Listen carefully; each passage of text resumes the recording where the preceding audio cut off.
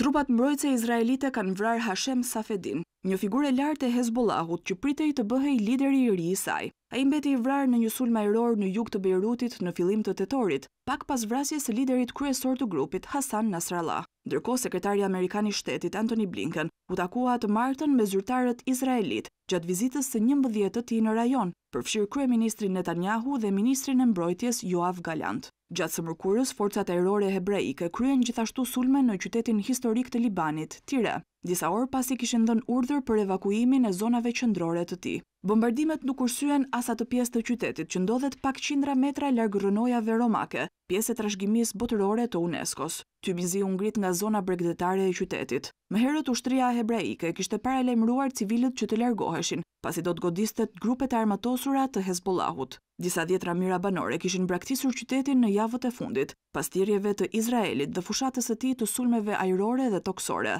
Por sipas autoriteteve libaneze, rreth katërmbëdhjetë mijë persona vazhdojnë të jetojnë në qytet, mes të cilëve ka edhe nga ata që janë zhvendosur nga jugu i vendit.